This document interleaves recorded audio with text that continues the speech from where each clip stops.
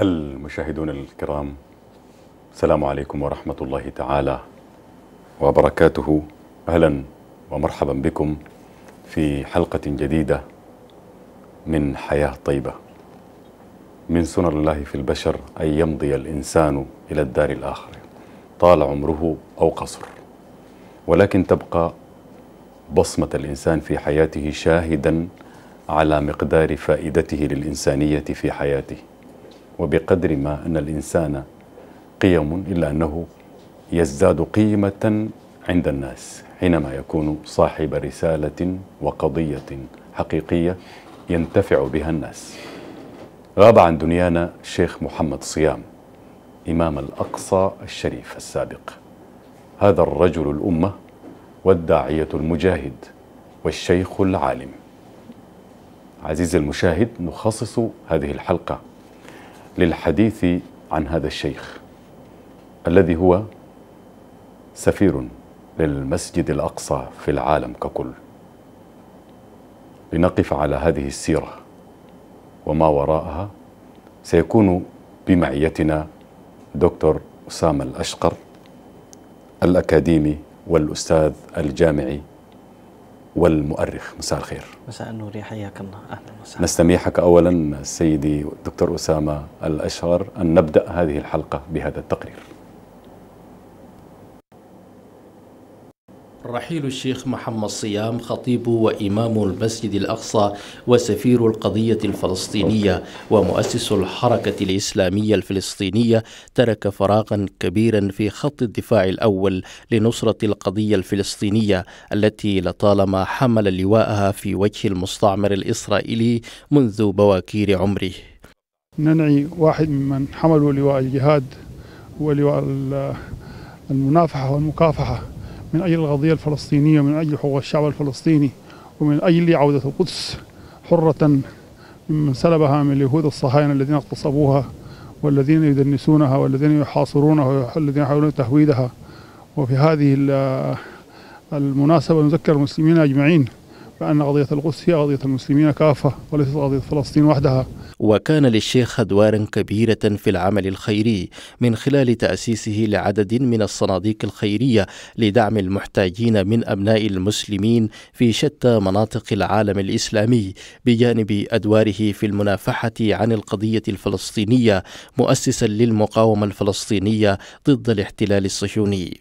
جاء إلى السودان وهنا كان له دوره في المجاهدة ثم أصبح سفيرا متنقلا لفلسطين في كل أصقاع الدنيا من الهند إلى إندونيسيا إلى إفريقيا.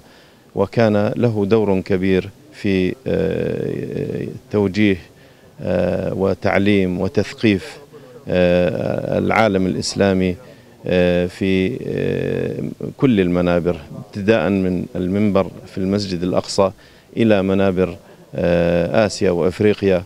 وبعد رحيله ومواراته الثرى هنا في السودان يكون قد ترك إرثا جهاديا كبيرا في الدفاع عن أعظم مقدسات الأمة الإسلامية المسجد الأقصى الذي هو أول القبلتين وثالث الحرمين الشريفين. يا أرحم الراحمين وأكرم الأكرمين واغفر لأهل هذه المقابر كلهم أجمعين واغفر لموتى المسلمين. مصطفى بكري قناة طيبة الفضائية الخرطوم. مرحبا بك عزيزي المشاهد ثانية في هذه الحلقة التي نخصصها للشيخ الراحل محمد صيام إمام وخطيب المسجد الأقصى. وفي هذه الحلقة نستضيف دكتور أسامة الأشغر الأكاديمي والأستاذ الجامع والمؤرخ. مساء الخير مرة أخرى ضيفي العزيز أسامة. أهلا وسهلا ومرحبا أولا دكتور أسامة دعنا حتى نكون على القرب من هذا الشيخ الجليل الذي فقدناه أول أمس. نتعرف على سيرته الذاخرة الكبيرة. بداية تعرفي عليه كانت في مطلع التسعينيات عندما قدم إلى السودان عام 92 وظلت هذه العلاقة قائمة متجددة حتى يوم رحيله رحمة الله عليه. يمكننا أن نتحدث عنه أنه في مراحل حياته المختلفة في مراحل النشأة ولد في مصر وترعرع فيها في طفولته لأم مصرية ولأب أزهري تعود أصوله إلى قرية الجورة وهي قرية ساحلية تقع جنوب مدينة عسقلان المحتلة وشمالي غزة. آه، هذه القرية مشهورة بالصيد وأهلها طيبون وللقدر أن هذه القرية هي قرية الشيخ أحمد ياسين رحمة الله عليه. شهيد. فهي نعم هي قريته التي ولد فيها. بعد أن ولد في الشرقية في مصر انتقل مع والده وأسرته إلى تلك القرية الوادعة وبقي فيها وتنشأ في رحاب فلسطين حتى جرت النكبة عام 1948 40. فانتقلوا إلى قطاع غزة واستقرت العائلة في مدينة خان يونس الساحلية التي أكمل فيها نشأته بدأت بعد ذلك المرحلة الثانية من حياته وهي مرحلة الدراسة الجامعية حيث درس في جامعة القاهرة وكان في كلية الأدب هذه الفترة أيضا شهدت مرحلة حساسة من حياته حيث إنه انضم للحركة الإسلامية وحركة الإخوان المسلمين في ظروف صعبة قاسية كانت الحملة الناصرية نعم. على حركة الإخوان آنذاك في ذروتها وكان الفلسطينيون لأن قطاع غزة كان مضموما إلى جمهورية مصر العربية آنذاك كان قطاع غزة يعد أرضا مصرية وكان يعامل أهل القطاع على أنهم مصريون في التعليم وفي التدريس وفي أشياء كثيرة وحتى في القوانين الظالمة التي كانت تلحق الناس. تعرض الشيخ هناك في مصر إلى الأسر والاعتقال وتعرض زملاؤه منهم الشيخ هاني بسيسو المراقب أول مراقب عام الإخوان المسلمين. وقتل في السجون المصرية هاني بسيسو. وأيضا زميله ورفيق دربه الراحل الشاعر الكبير الدكتور عبد الرحمن بارود بقي في السجن نحو عشر سنوات. أما هو فقد استطاع أن يقضي مدة قليلة جدا بلباقته وحسن تصرفه وإمكاناته اللغوية وحذاقته. استطاع يعني أن يقدم نفسه أنه لا يدري شيئا ولا يعرف شيئا عن التهم التي نسبت إليه فخرج من السجن وعاد إلى الكويت. بدأت المرحلة الثالثة من حياته بالذهاب إلى الكويت. حيث التقى نفرا من أبناء الحركة الإسلامية الفلسطينية الذين أسسوا مع بعضهم شعبة من الشعب الإسلامية في تلك الديار التي شهدت استيطان عدد كبير جدا من الفلسطينيين والشوام والمصريين وكانت فترة مهمة جدا في حياته. بعد ذلك دخلت المرحلة الرابعة وهي مرحلة الدراسات العليا, العليا. حيث انتقل إلى مكة المكرمة ونال درجتي الماجستير والدكتوراه. بعد أقل من عام من عودته وحصوله على درجة الدكتوراه من جامعة أم القرى بدأت المرحلة الرابعة من حياته وهي مرحلة أكثر حساسية حيث كلف بإنشاء والقيام بأمر أول جامعة إسلامية ستخرج عددا كبيرا وكادرا هائلا من كوادر الحركة الإسلامية الفلسطينية بكافة أنواعها وتشكيلاتها ولا سيما من كوادر حركة حماس حيث تولى إدارة هذه الجامعة الوليدة وهي الأولى من نوعها آنذاك عام 83 وظل هناك حتى قيام الانتفاضة وما بعدها فأبعد من القطاع على أثر آه، اتهامه بكتابة بيانات الانتفاضة وأنه المشاركة في قيادة حركة حماس. فبدأت مرحلة خامسة في 1987 هذه. في عام هو أبعد عام 88 89 الانتفاضة كانت 87 87 وبعيد عن فلسطين ذهب إلى لبنان ومن لبنان إلى الكويت وبقي هناك حتى جاء صدام حسين وصارت الفتنة العارمة بغزوه للكويت فلجأت أعداد كبيرة من الفلسطينيين إلى الدول المحيطة وإلى دول أخرى وكانت السودان واحدة من الدول التي جاءت إليها وفود من المهاجرين الذين كانوا في الكويت واستقروا في السودان وكان هو مع نفر من إخوانه جاءوا إلى هنا. وبقي حتى عام 94 من هنا انطلق إلى اليمن وبقي فيها حتى عام 2015 وجاء إلى السودان. لكي تشهد السودان كما شهدت محطة مهمة من حياته تشهد ختام حياته الحافلة بالجهاد والمقاومة في هذه الأرض الطيبة. دكتور أسامة الأشغر هذه صورة يعني مكتملة للسيرة الذاتية لشيخنا المرحوم محمد صيام. قبل أن ندلف إلى السؤال هذا هل اعتلى قبل المسجد الأقصى منابر أخرى للمساجد؟ الشيخ كان خطيبا مفوها كان يخطب في مساجد الكويت في مساجد قطاع غزة وفي المساجد المصرية لكنه عندما تولى إدارة الجامعة الإسلامية بغزة كانت هناك كانت هناك حصة لأبناء المناطق آه، في فلسطين. فكانت حصة غزة للشيخ الدكتور محمد صيام. من خلالها اعتلى المنبر في مسجد الأقصى عدة مرات وهذه من العلامات الفارقة التي أثرت جدا في شخصيته وحمل هذا الوصف طيلة حياته. خطيب المسجد الأقصى ظل ملازما له. كان يخطب أيضا في اليمن ويخطب في بقاع الأرض كلها بالمناسبة. نعم. كان سفيرا متجولا وعندما أقول إنه كان سفيرا متجولا أنا أحسب أنه ليس هناك دولة أو أرض إلا وطئها الشيخ الدكتور محمد صيام. سفيرا للكلمة. كان يرحل إلى من أستراليا إلى أمريكا الشمالية والجنوبية وإلى أوروبا وإلى بلدان إفريقيا وآسيا. حتى تلك البلدان الثلجية البعيدة عندما يسمع أن هناك نفرا آه، يريد أن يستمع القضية الفلسطينية كان يتوجه إلى هناك. نعم. الشيخ كان بحق كان سفيرا من طراز خاص. وكان صاحب نكتة وكان جميل الطلعة. ويحب الناس دائما رؤيته والسلام عليه والتشرف بأنه كان واحدا من خطباء المسجد الأقصى وعلمائها. وأسس حركة علمية تأثرت جدا بشخصيته وكان علامة فارقة. رحمة نترحم عليه. رحمة الله عليه رحمة واسعة. دكتور أسامة الأشغر يعني هذه الثقافة الموسوعية لا بد أن تكون هنالك منابع لها. من أين يعني تلقى هذا الشيخ الجليل الوقور هذه الثقافة الموسوعية. والده الشيخ محمود صيام ترى اسمه الدكتور محمد الشيخ محمود. والده ليس الشيخ إنما محمود, محمود. لكن والده لأنه كان عالما أزهريا في قريته لقب بالشيخ محمود صيام. فأول مصادر علمه كانت من والده الأزهري الذي استشهد عام 1949 عندما قصفت طائرات الاحتلال في أول احتلالها الأرض الفلسطينية الاحتلال الأول عندما قصفته وهو يوزع المؤن والمساعدات على المنكوبين واللاجئين من أهالي المناطق الجنوبية في فلسطين من نواحي الرملة ونواحي يافا الذين لجأوا إلى خان يونس. استشهد رحمه الله وكان لذلك أثر كبير عليه. أيضا كانت الصحبة والرفقة التي كانت موجودة آنذاك ولا سيما من الرعيل الأول للحركة الإسلامية الذين كانوا موجودين في قطاع غزة والذين كانوا يشاركون في الجيش المصري للدفاع عن ما تبقى من أرض فلسطين. كان لهم أثر بالغ جدا في تكوين شخصيته من خلال استماعه لمحاضراتهم ومنتدياتهم التي كانوا يتجولون فيها في أنحاء قطاع غزة. وبعد ذلك الرفقة الأخرى التي صاحبته في دراسته الجامعية في مصر كان معظمهم من اللامعين من أمثال الدكتور بارود والشيخ هاني بسيسو ومجموعة يعني حاول أن يكتب عنهم لكن لم يكتب لها آه، لهذه الأسماء الذيوع والانتشار.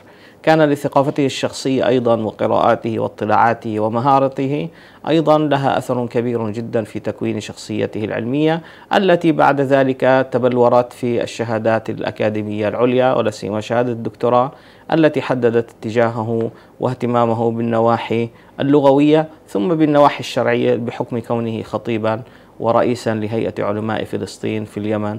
وفي مناطق أخرى. طيب دكتور أسامة يعني يمكن أن, أن, أن يكون هذا التسفار والتجوال في العالم يمكن أن ينعكس أثره على ثقافة هذا الرجل؟ لا شك عندما تسافر إلى مناطق كثيرة تتسع معارفك تتسع مفاهيمك لأحوال الناس وطرائق تعبيرهم واهتماماتهم وبالتالي تكون لديك فرصة أن تتحدث في جوانب كثيرة لا يعلمها كثير من الناس. فتثير دهشتهم وإعجابهم لا سيما بسرد الغرائبيات التي يشاهدها المرء في حياتهم. ولأنه كان ذكيا وفصيحا وبليغا وذا قدرة على نظم تلك المعلومات وتسبيكها وتشبيكها وبعد ذلك نثرها ونشرها بين الناس.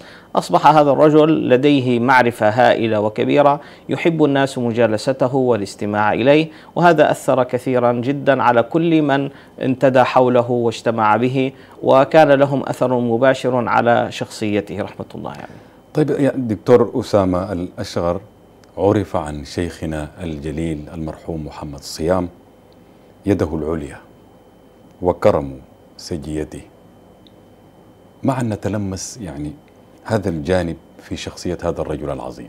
عندما نتحدث عنه من أبناء الريف والريف الساحلي فمعروف عن أبناء الساحل أنهم أهل كرم وهم أسخياء وأجواد.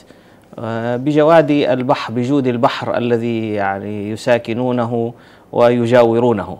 فهذا البحر يلقي عليهم دائما من طيباته وخيراته فأثر شخصيته انعكست أو انعكست آثار البحر وشخصية البحر على شخصية أهل الساحل.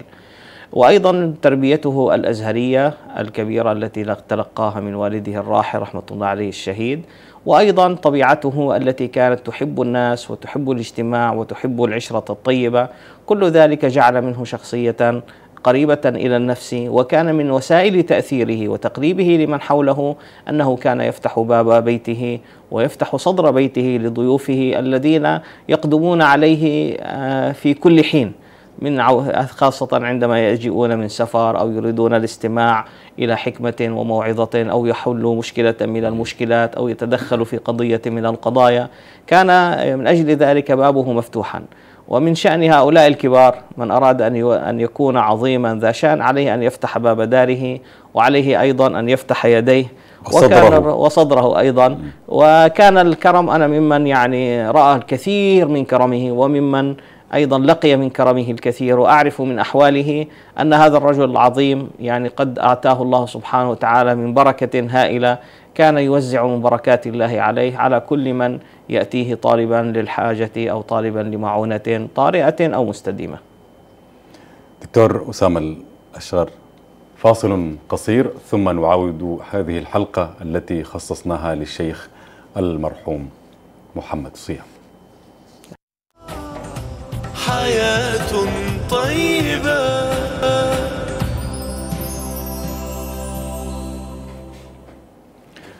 المشاهدون الكرام مرحبا بكم مرة أخرى في حياة طيبة والتي خصصناها لرحيل الداعية العلامة الشيخ محمد صيام. وما زال ضيف الحلقة دكتور أسامة الأشغر الأستاذ الجامعي والأكاديمي والمؤرخ. مرحبا بك ثانية دكتور أسامة. نتحول إلى محور الدعوة إلى الله. هذا الشيخ يعني معروف عنه عمل في الدعوة كثيرا. نشوف ما مقدار صبر هذا الشيخ على ابتلاءات الدعوة.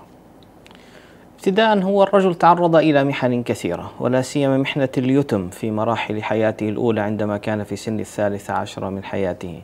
عندما فقد والده عندما كانوا في نكبة عظيمة عندما هجر أهله جميعا من قرية الجورة إلى قطاع غزة. فتصور أن تكون مهجرا لا تملك شيئا ولا تعرف لك نعم. مستقبلا مستقبلا ثم تفقد بعد ذلك سندك وعونك وهو والدك الذي تحبه ويراه الناس جميعا منقذا ومخلصا.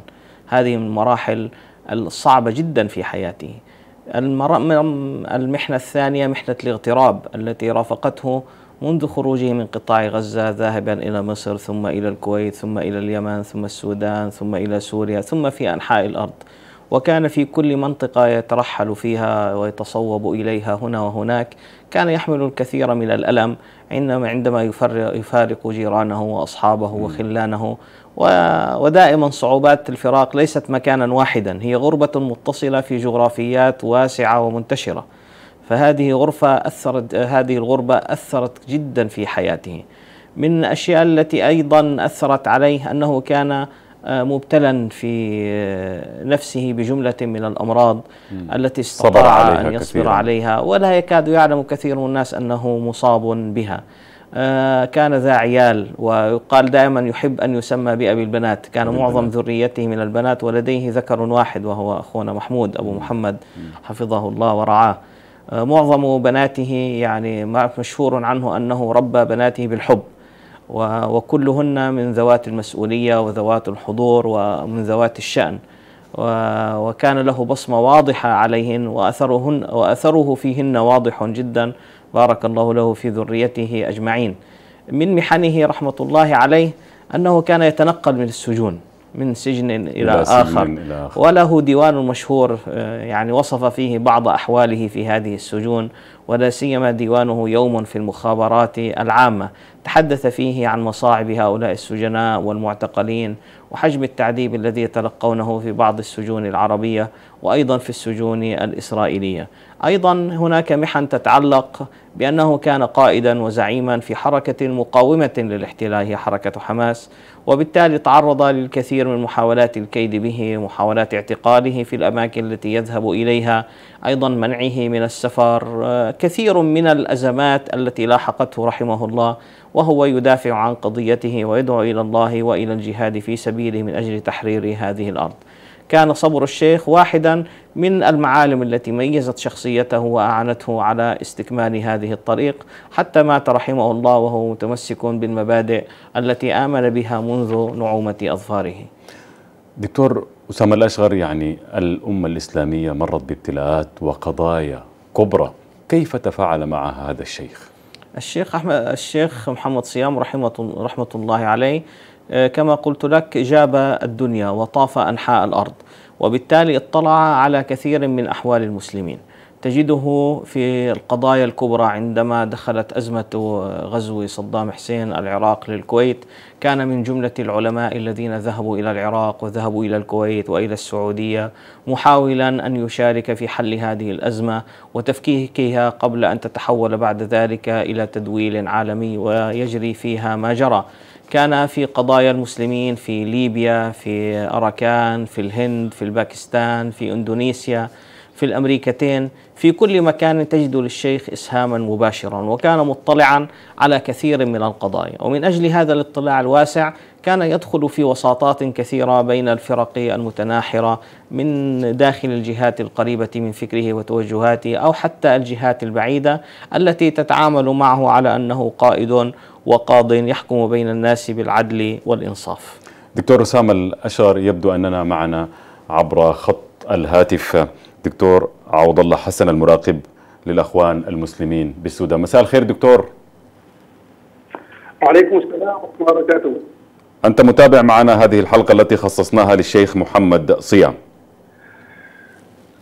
آه نعم نسأل الله أن يتقبله قبولا حسنا إلى الجنة متقلبه ومثواه آه، نسألك دكتور عوض الله عن مجاهدات هذا الشيخ ودوره في الدعوة الإسلامية ودوره أيضا مشاركا في الهم الإسلامي والقضايا الإسلامية الكبرى. آه الشيخ آه محمد طياب هو السفير الأخطى ولسانه الناطق باسمه. آه اسم كبير وسمعة عريضة. عشنا زمنا نحن في السودان معه. كنا حينها طلابا. نستمع إلى خطبه وإلى شعره الحماسي وهو الذي قد جاب أخطار الأرض كلها دعوة إلى الله عز وجل. ويكفيه شرفا أنه قد خطب في المسجد الأقصى سفيرا متجولا لفلسطين نعم. متحدثا عن هذه القضية المحورية قضية المسلمين الأولى. في سفر متصل يعزف بقضيته ويحمل همها معه أينما حل وحيثما ارتحل. نعم دكتور. نعم. آه فتفضل تفضل تفضل واصل في حديثك. ال- الشيخ محمد صيام مع قلة الأيام واللحظات التي عشناها معه وكان قريبا من مشايخ دعوتنا في السودان قريبا للشيخ صادق وقريبا للشيخ الحبر اسمه الدائم كنا نراه بشوشا باسما حاضر النكتة. أذكر مرة حضر معنا رحلة وكنا ننتظر قفشاته وكلماته الرائعة. كان مهتما بهذه القضية وبذل لها عمره. خرج مجاهدا في سبيلها. بذل جهدا وأخذ ذلك من صحته ومن وقته كان كريما معطاء لا يرد سائلا وبيته عامر بالضيوف. بل كان كما سمعت من بعض الإخوة أنه يجيد لعب الكرة يمازح إخوانه خاصة الكبار منهم أما خطابته فلم يكن يجارى فيها. كان خطيبا مفوها جهوري الصوت تعرفه المنابر. وهو إمام المسجد الأقصى. ارتقاه لمرات وكان يعرف به أنه إمام المسجد الأقصى حينما يقدم في المحاضرات والندوات في اللقاءات. كان كثيرا ما ينظم الشعر. بل كل خطبه تجدها مليئة بكلمات الشعر القوية التي تلهب الحماس. كيف لا؟ وهو خريج هذه المدرسة مدرسة الإخوان المسلمين. ولعله قد تلقى بيعتها في مصر وانتقل بها إلى فلسطين وزاد عنها في الكويت وعمقها في اليمن. وحل بها وارتحل بها إلى السودان. كان يرى كل هذه الأوطان أوطانه وكل هذه البلاد بلاده. ولست أدري سوى الإسلام لي وطنا الشام فيه وادي النيل سيان. نسأل الله أن يتقبله قبولا نعم. حسنا وأن يحسن عاقبته. وقد مات في يوم الجمعة ولعل ذلك من بشارات الطيبة. فقد مات في يوم عظيم ولعل ذلك يكون شفيعا له. وهو بمجاهداته إن شاء الله يكون مع رفقاء دربه الشيخ الشهيد أحمد ياسين. وله شبه في كثافة لحيته وفي بياضها. ولعل ذلك يذكرنا بهؤلاء الرجال الذين ما لانت لهم غناء. من المؤمنين رجال صدقوا ما عاهدوا الله عليه. نعم. فمنهم من قضى نحبه ومنهم من ينتظر وما بدلوا تبديلا. شكرا دكتور عوض الله حسن المراقب آه، للأخوان المسلمين بالسودان شكرا لهذه الكلمة الضافية في حق شيخنا المرحوم شيخ محمد صيام. أعود لك دكتور أسامة الأشغر. هذه الشخصية شخصية محمد صيام الحافلة بالحياة الطيبة. لا بد أن يقتدي أو يقتدي بها الشباب. كيف كيف للشباب أن يتعرفوا على هذه الشخصية وينهلوا منها من سيرته العطرة التي تركها لهم؟ هناك مستويان من الاقتداء المستوى الأول المستوى المباشر. وأزعم أن كثيرا من الشباب تأثروا به وبخطبه وبتجواله العريض في أنحاء الأرض. وكان سببا في توجيه كثير من هؤلاء الشباب ولا سيما في المغتربات حول العالم للعمل للقضية الفلسطينية وتجويد العمل من أجلها. هذا الأمر قد تحقق بفضل الله سبحانه وتعالى ثم بفضل جهود هؤلاء العظام الذين نذروا أنفسهم لخدمة هذه القضية المباركة. الجانب الآخر هو الحديث عنه وعرض آثاره الباقية. لا سيما أن الشيخ له آثار كثيرة ولا سيما من أشعاره. هذه الأشعار التي كانت بحد ذاتها مدرسة ما تزال تعلم كثيرا من الناس الذين يتداولونها ويحفظونها خاصة أنها ليست من النوع الفخيم الذي يحب الشعراء أن يتعاطوه وأن يتعانوه. ويكون صعبا في أخيلته وفي تصاويره وفي أفكاره وفي تعقيداته اللفظية. كان الشيخ في أدائه الشعري وفي أدائه النثري يمتاز بالكلمة السهلة القريبة المأخذ وكان بذلك كأنه يطعمها للناس إطعاما ويكون الشعر عنده بمثابة خبز يتناوله الجميع. إذا أردنا أن نتعرف إلى قيم الشيخ وإلى فكره فعلينا أن نبحث مباشرة في أشعاره المتبقية. هناك الكثير من دواوينه المطبوعة وهناك الكثير من أعماله غير المنشورة التي سنسعى إن شاء الله سبحانه وتعالى أن نعرضها للناس وأن ننشرها لكي يتعرف الناس إلى تاريخ الدعوة عبر هذه السنوات الطويلة. في مراكز وفي أماكن مجهولة لا يتعرفها كثير من الناس وفي أماكن تستحق فيها أن تقدم فيها هذه القضية من خلال منظومة قيم تمثلها الشيخ في حياته ومثلها في شعره الذي أبقاه للناس من بعده. دكتور أسامة الأشغر للمرحوم العالم الجليل محمد صيام علاقات واسعة على مختلف الأصعدة يعني. ولكن نقف عند علاقته في مع المسؤولين في الدول التي أقام بها. يعني الشيخ كان زعيما سياسيا وزعيما اجتماعيا وأيضا زعيما دينيا. وبالتالي كان هناك حرص من عدد من الزعماء أن يلقوه. ولم يكن هذا الحرص عليه وحده وإنما من الجهة التي كان يمثلها وهي تلك الحركة المقاومة التي تقاتل في أرض فلسطين. الشيخ من أجل ذلك التقى بزعماء العراق آنذاك لا سيما صدام حسين بالزعيم الليبي معمر القذافي.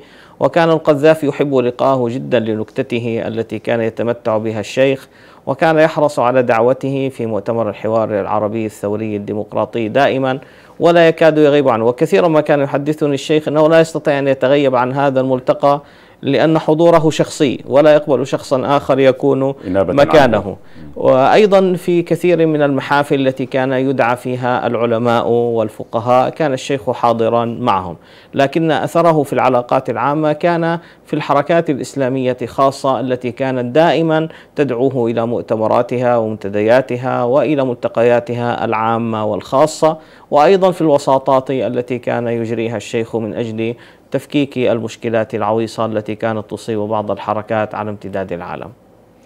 هل من نموذج واضح للحديث الذي تحدثت عنه عن الشيخ؟ هل هنالك نماذج ماثلة كانت واقعة تتذكر منها؟ يعني الحديث يعني معظمه يتجه نحو الخصوصيات ولا أدري إن كان الشيخ مكاني رحمة الله عليه قد يسمح لنفسه أن يتحدث أو لا يتحدث. أظن أن الأوان لم يئن بعد للحديث عن بعض هذه الخصوصيات لأنها ما تزال مصنفة على أنها قضايا خاصة قد تحرج بعض الجهات التي يمكن أن نتحدث عنها. دكتور أسامة الأشغر نتحول إلى محور آخر القضية الفلسطينية وهي قضية الأمة الإسلامية والأمة العربية. كيف كيف كان الشيخ من هذه القضية قضية الأمة العربية والإسلام؟ هذه القضية هي قضية إسلامية وهي قضية عربية فبالتالي ليست قضية الفلسطينيين وحدهم. وبناء على هذه النظرة فيجب على الجميع أن يكون شريكا في تحمل مسؤوليته تجاه هذه القضية. وبالتالي كل مكاتب الإسناد العالمية التي كانت ترعى القضية الفلسطينية كان الشيخ موجودا فيها. وكان دائما يضع الأفكار والبرامج والأدلة العملية للمشاركة التنفيذية المباشرة في خدمة هذه القضية وفي إسنادها. وأيضا يراها قضية دينية بامتياز وبالتالي تجده في كل المربعات الدينية والعلمائية التي كان يشغل حيزا فيها كان يدعو إلى توحيد الرؤية الدينية والعلمائية تجاه هذه القضية وأن تكون واحدة من القضايا التي يجتمع عليها شمل الأمة وشمل علمائها بمختلف مذاهبهم وتوجهاتهم. وأيضا في المستوى السياسي فيرى هذه القضية قضية رابحة وقضية يجتمع عليها الجميع الحاكم والمحكوم حتى لو كان ذلك ادعاء. فكان يذهب إلى الحكام كما يذهب إلى الأحزاب السياسية وإلى قطاعات المجتمع المدني ويحاول أن يجعل هذه القضية بعيدا عن الاستنزاف السياسي المحلي وبعيدة عن الاستهلاك أيضا الذي تقوم به بعض الهيئات والتجمعات من أجل أن تعظم حضورها السياسي في بعض المناطق استغلالا للقضية الفلسطينية أو استخداما لها. آه، أيضا في جملة هذا الأمر كان الشيخ يتعامل مع هذه القضية أنها قضية آه، تعزز روح الحياة في الأمة وأن الأمة لو اجتمعت عليها وجعلتها قضية مركزية فإن هذه الأمة سيكون لها هدف كبير واضح وستكون قضية أمة قادرة على الحراك باتجاه قضايا كبرى تجمعها بدل القضايا الانصرافية الكثيرة التي تعيش في دواماتها الدول العربية وتعيش في اهتماماتها وانحيازاتها الداخلية. بحيث إن هذه القضية لو جعلت أولوية في السياسة الخارجية لهذه الدول ولهذه التجمعات فإن من شأن ذلك أن يعزز حضورها لا سيما أن قضية فلسطين هي أولوية لدى الإدارة الأمريكية والمجتمع الدولي وأيضا لدى الإسرائيليين الذين لهم نصيب وحضور كبير في العالم. كل هذا جعل من الشيخ الشيخ محمد صيام رحمة الله عليه يجعل من هذه القضية قضية جامعة ولا يقبل فيها التفرقة ولا التجزيء ولا الاستخدام ومن أجل ذلك كان سفيرا ناجحا ودبلوماسيا متفوقا فذا في تقديمه لهذه القضية. دكتور أسامة الأشغر الحياة الطيبة حياة ينشدها الناس أجمعين. كيف كانت رؤية الشيخ محمد صيام يعني لإقامة حياة طيبة كريمة للشعب الفلسطيني الشقيق. طبعا هو يرى أن حياة الشعب الفلسطيني تقوم على الجهاد وأن الله سبحانه وتعالى قد اختصهم بقضية مباركة يجتمع عليها الناس. هي قضية موجودة في كتاب الله. لا يستطيع أحد أن يغيرها أو أن يمسها مهما حاول الناس أن يتدخلوا أن يغيروا أن يبدلوا فإن هذه القضية واضحة جدا ولا يختلف عليها اثنان في المستوى المعرفي وفي المستوى الديني والعقدي. وأيما أحد يحاول أن ينحاز أو أن يقدمها بطريقة غير الطريقة التي يجتمع على فهمها الناس فإنه سيعود بالخسران المبين وسيتهم بين الناس بالعمالة والخيانة وبالتالي لن يحصل أحد يريد أن يخون هذه القضية إلا على الكثير من الويلات والدعوات البائسات آه التي ستصيب وتصيب ذريته من بعده. هذا التوجه الذي كان عند الشيخ يقوم على أساس أن الحياة مقاومة وأن الحياة جهاد بالنسبة للشعب الفلسطيني وأن الحياة لن تكون قائمة ولا عادية ولا متمكنة إلا بطرد هذا المحتل الآثم عن أرض فلسطين وأن تعود إلى حظيرة العروبة وحظيرة الإسلام وحظيرة العالم الآمن وإلى الإنسان الحر الشريف الذي ينشد حياة خالية من الظلم والعدوان والاعتداء كما تقوم عليها فلسفة الصهيونية العالمية بآخر احتلال جاثم على أرض هذه الأرض هي أرض حساسة تشكل تكثيفا للعالم كله بتنوع الحضارات التي نشأت عليها وآمنت بها. دكتور أسامة الأشغر يعني بعد احتلال الأراضي الفلسطينية انتشر الفلسطينيون في جميع أنحاء العالم وكونوا جاليات فلسطينية كبيرة. كيف كان الشيخ ارتباطه بهذه الجاليات؟ كان جزءا من الحراك الكبير في هذه الجاليات. دائما في أي جالية من الجاليات كانت هناك نخبة محركة لها. الشيخ في ترحاله صوب الكويت في اليمن في السودان حيث كان يقيم معظم حياته بعد هجرة أهله ونكبتهم. آه، كان الشيخ شريكا في كل عمل تقوم عليه الجاليات الفلسطينية موجها ومرشدا وعاملا وتنفيذيا وقائدا ومسؤولا ورئيسا. فهذه العلامات كانت بارزة جدا في شخصية الشيخ والتي أثرت تجربته الشخصية وتجربة من حوله رحمة الله عليه. وكانت فكرة الشيخ في إدارة الجاليات كما هي فكرة إخوانه الذين رافقوه أيضا من خلال المنظمات والإدارات التي تقوم على الشعب تقوم على خدمة الشعب الفلسطيني مثل الاتحادات الطلابية والاتحادات النسائية ومن الجمعيات الخيرية وإلى الجمعيات التعليمية وكل ما من شأنه أن يعين الشعب الفلسطيني في مغترباته على أن يعود إلى أرضه أو يؤسس حركة تساعد على طرد المحتل وتسعى إلى نعم. إخراجه نعم. من هذه الأرض دكتور أسامة هل كانت الدعوات تأتيه من الجاليات أم كانت هي مبادرات منه شخصيا؟ طبعا كثير منها يأتي من أحبابه وإخوانه ومنظومة الحركات العربية والإسلامية والحركات الجغرافية القطرية بين قوسين التي كانت في هذه الأقطار الذين يريدون التعرف على القضية الفلسطينية. وبالتالي معظمها كانت دعوات وقليل منها كانت مبادرات منه ولم يكن هناك ثمة وقت للمبادرات لأن الدعوات كانت أكثر بكثير من أي محاولة للتفكير في أي مبادرة. دكتور أسامة الأشغر يعني هل تتفق معنا بأن الأمة الإسلامية تمر بمنعطفات واضطرابات وهذا يمكن أن يؤثر على البيت المسلم؟ يعني كان كيف كان الشيخ محمد صيام ينظر إلى واقع البيت المسلم الآن؟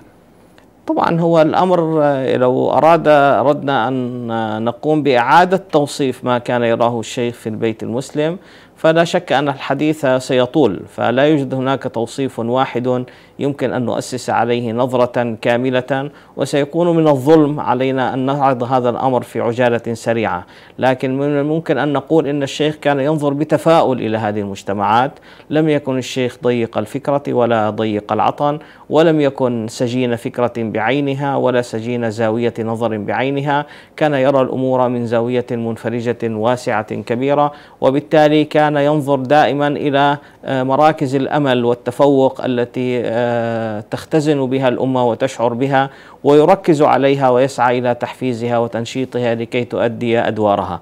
ولم يكن ابدا يركز على الأمور الخلافية ولم يكن جزءا من أي خلاف وكان يسعى دائما لإطفاء النيران التي تشتعل في هذه البيوتات الخاصة والعامة وفي المجتمعات الصغيرة والكبيرة.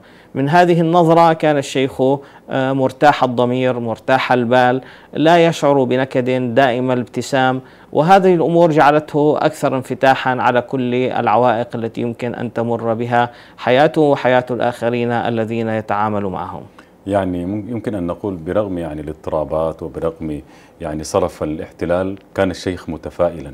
كان على يقين بأن هذه الأرض قد حيزت لهم لكي ينتصروا فيها على أكبر أعداء العالم وعلى أكبر آه، احتياطي عالمي جعلوه في قلب الأمة لكي يهزموها في عقر دارها حيث مهد الإسلام الأول ومهد الديانات الأولى. فبالتالي إن لم نكن نحن قادرين على هزم هذا التكثيف الحضاري الغربي الغازي لنا فنحن لن نكون أهلا آه، لكي نكون آه، ورثة هذا الدين وخلفاء هذه الرسالة العظيمة التي ائتمننا الله سبحانه وتعالى عليها. دكتور أسامة الأشغر هذه الحياة الطيبة المليئة الذاخرة بالمواقف لهذا العالم الجليل الشيخ محمد صيام إمام مسجد وإمام وخطيب المسجد الأقصى لا بد أن يكون لهذا الشيخ هم كبير كان يحمله. كان همه الكبير فلسطين والمسجد الأقصى. فبالتالي لا تجد أي شيء في حياته إلا كان مرتبطا بفلسطين. كانت هي القضية الوحيدة التي تشغله وتستحوذ على اهتمامه في كل شؤون حياته. طيب يعني هذه السيرة العاطرة وهذه الحياة الطيبة لهذا الشيخ الجليل المرحوم محمد صيام إمام مسجد إمام وخطيب المسجد الأقصى. كيف تنظر إلى هذا الأثر الطيب وانعكاسه على المجتمعات الإسلامية حتى يعني يقتدوا بهذا الشيخ؟ طبعا تحدثنا عن هذا الأمر وقلنا إن الشيخ رحمه الله ترك لنا تراثا عظيما فيما يتعلق بالتعامل مع هذه القضية وقلنا إن هذه القضية واضحة جدا ومن شدة وضوحها أنها لا تحتاج إلى شرح بمجرد النظر في أشعاره وإلى خطبه الموجودة في وسائل التواصل الاجتماعي. فمن السهل جدا أن تقترب من رؤية الشيخ ومن فكرته ومن موجهاته التي كانت تمثل توجهات عالم الأحرار في العالم تجاه هذه القضية المباركة. كانت لغة الشيخ الشيخ واضحة جدا وغاية في الوضوح بحيث أنها لا تحتاج إلى مترجم حتى لو كانت اللغة المقابلة التي تحاول أن تشرح آه هذه الفلسفة وهذه الرؤية لغتها أو بضاعتها مزجاة في التعاطي مع اللغة العربية. كانت لغته من السهولة بمكان أنها تصل بسرعة إلى كل أذن متلقية قابلة للتعاطي بحياد أو إيجابية مع هذه القضية. دكتور أسامة الأشغر يعني رحيل هذا العالم الجليل محمد صيام. أثره على القضية الفلسطينية. يعني عندما أعلنا عن وفاة الشيخ رحمة الله عليه ضجت وسائل التواصل وضج الناس يكتبون عنه ويكتبون عن آثاره وعن عن كل لحظة قضوها معه بأثر أو فكرة أو لقاء أو لمسة. أو حتى سماع أو حديث عن شخص قابله أو سلم عليه أو صافحه. ووجدت أن كثيرين جدا يذكرون مآثر عنه لم نكن نعلمها ولم نكن قد رصدناها من قبل. وجدنا أن أيادي الشيخ البيضاء قد حلت في معظم الدور وفي كل الأماكن على امتداد الجغرافيا. وكلما يعني زادت هذه الأيام بعد وفاته رحمة الله عليه رأينا اناسا لم نكن نعرفهم من قبل يتحدثون عنه وعن مآثره مما عزز لدينا آه، النظر والقناعة بأن هذا الرجل قد أكرمه الله سبحانه وتعالى وبارك له في علمه وفي عمله حتى حاز هذا القبول على مستوى العالم كله. وأنا أظنه أنه من هؤلاء النفر الذين اختصهم الله سبحانه وتعالى بكرامة من عنده حتى وافى أجله المحتوم وهو بهذا الرضا وبهذا القبول.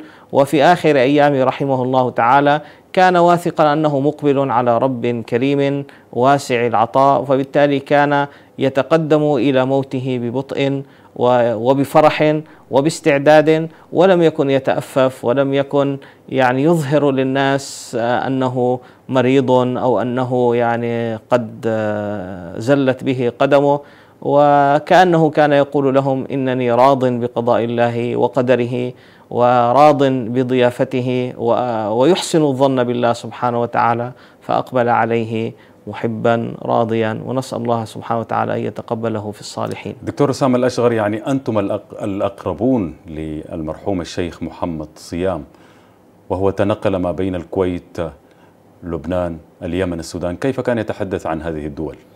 طبعا كان الشيخ سودانيا كثيرون لا يعلمون. أكثر يعني. كان الشيخ سودانيا يحمل آه، هوية هذا البلد ويحمل جوازه ويفتخر جدا بين الناس أنه سوداني. وكان يخرج من السودان وهو سوداني ويدخل إلى السودان وهو سوداني. وفي كل إقاماته في العالم كان يحمل اسم السوداني معه. آه، كثيرون لا يعلمون أنه يحمل الجنسية السودانية منذ أكثر من ثلاثين عاما. واستحقها بجدارة نتيجة إقامات طويلة في هذا البلد وفق القوانين السارية وبالتالي هو سوداني وهو فلسطيني أيضا. دكتور أسامة الأشغر كما بدأت الحلقة بصورة كبيرة جدا عن هذا الشيخ تعريفا وسيرته الذاتية. أيضا ونحن في خواتيم هذه الحلقة دكتور أسامة الأشغر نترك لك الفرصة لتقدم رسالة ونحن نفقد هذا الشيخ للأمة الإسلامية والعربية والعالم الإسلامي ككل. دائما لدينا رموز وكبار ومفكرون وعلماء وفقهاء وكرام لا تفقدوا هؤلاء الناس. عندما يكونون من بينكم لا تبعدوهم لا تقصوهم لا تهمشوهم. اقتربوا منهم. إذا كبرت أسنانهم فليس معنى ذلك أن عطاءهم قد قل. إنهم ذو بركة عالية رفيعة. يحتاجون إليكم وأنتم تحتاجون إليهم أكثر. لا تفرطوا في عظمائكم ولا في علمائكم ولا تتذكروهم فقط في أوقات وفاتهم. يستحقون منكم الكثير لأنهم أعطوا من أنفسهم الكثير لكم.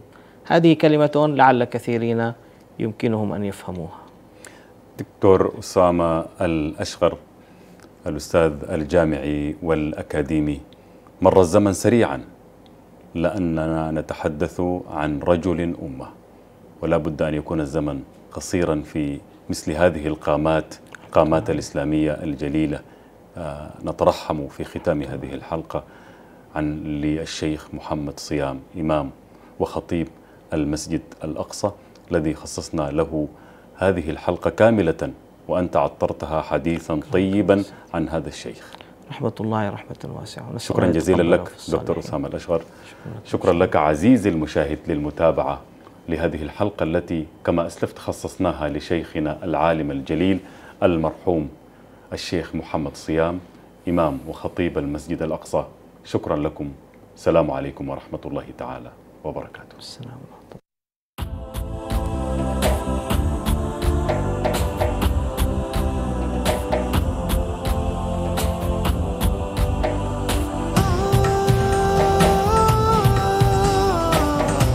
حياة طيبة.